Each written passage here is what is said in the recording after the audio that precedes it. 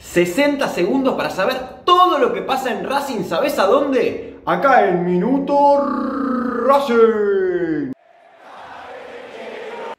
Racing se entrenó este martes pensando en el duelo con Platense el próximo viernes. Muchísimas novedades en Avellaneda. La primera, Neri Domínguez prácticamente descartado para enfrentar al Calamar. Además, Matías Rojas se recuperó de su desgarro muscular y estaría presente en la academia. Por si faltara poco, Cortés hizo algunas tareas a la par, otras de manera diferenciada, Mena y algunos labores en campo y sobre todo lo que más preocupa en Avellaneda es que Chancalay, quien se pronosticaba iba a ser titular, por ahora está fuera del partido por un dolor de garganta seguido de un estado gripal. Si se recupera a tiempo, juega. Si no, en su lugar entrará Maxi Lovera. Por último, Arias Arias llega el viernes.